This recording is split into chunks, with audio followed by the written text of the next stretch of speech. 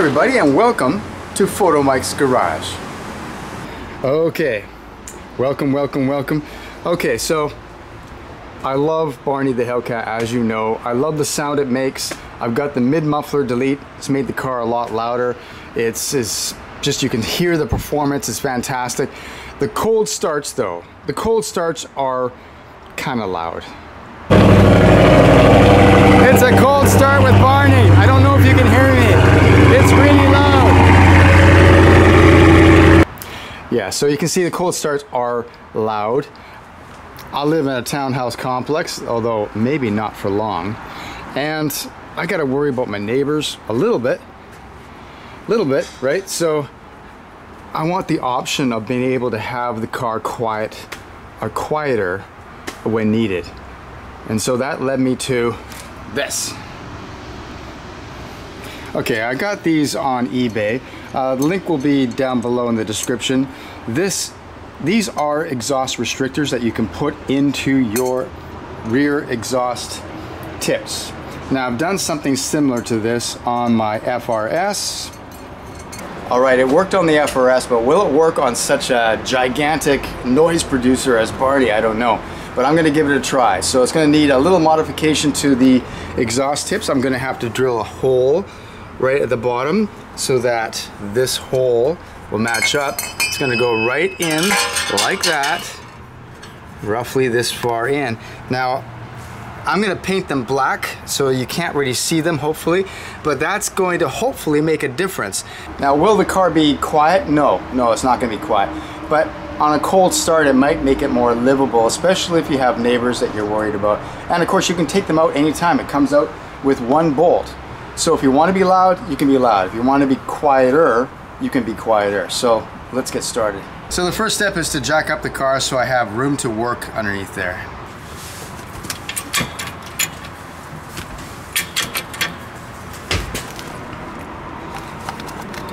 Okay, as you can see, I've got the back end of the car jacked up just a little bit, just so I have room to work on this area. Oh, and uh, check out my performance uh, differential brace. Still looking really good. I'm glad I put that on. Gives you just a little bit more security, peace of mind. Now, what I'm gonna do is that with this convenient little dimple right here, I'm going to drill a hole right through here, which is at the very bottom of the exhaust tip. And that is the perfect mounting spot for the exhaust reducer. I made short work of that. That hole is done. That's a quarter inch wide hole, which is just big enough, a little bit bigger than the uh, actual bolt that has to go through. As you can see, it's going to go right through here and let's see if it's going to come through enough. Okay, there's our hole. And there we go. Let's see if this will bolt right in. Okay, so more specifications. The actual diameter of this part, which has to fit inside your tip, is just slightly under three and a half inches because the measurement here here to here is three and a half inches. So if you follow the link on my on e to eBay, you'll find that you can get this one.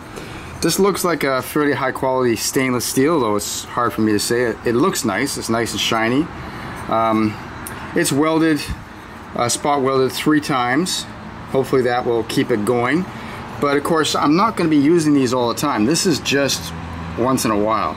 You know, I'm not going to run the car with this because that doesn't make any sense. It's just for cold starts in some cases where you have to get up early in the morning. Then you take these out after you've been driving for a while and the car is just fine. And so it's just, just once in a while use, right? Okay, let's see. Let's put this in here. And it does fit. It's a little loose, to be honest. It's a little loose. You actually see you've got room around the edges.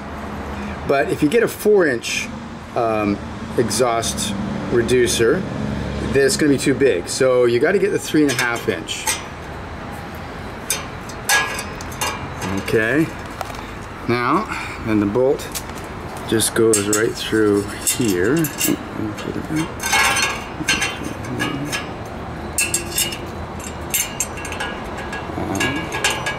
There you go. Just like that. And you take your Allen wrench and you simply tighten her up. And that's it. Now it's tightened up. That's what the final product's gonna look like. Like I said, I'm going to actually paint these black so it doesn't show up too much. But for now, that one's done. Now I'm gonna do the other one and then we're gonna start the car. We're gonna see the difference between the cold start, which you already heard before, and this one.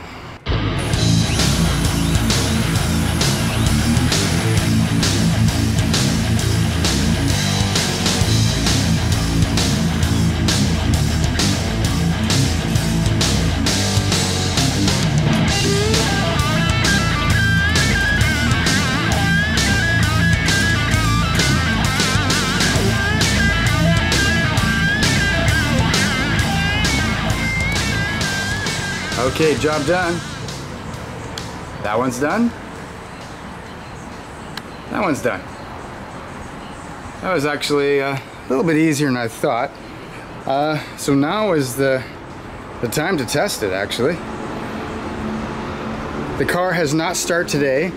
Now it's not a super cold day, but still, this will be a cold start. And I think we'll be able to see that there might be a difference, but I'm not actually sure. Uh, we're gonna find out right now. Okay, my two exhaust reducers are in place. Let's do a cold start. Let's see if there's any noise reduction. I really hope there is.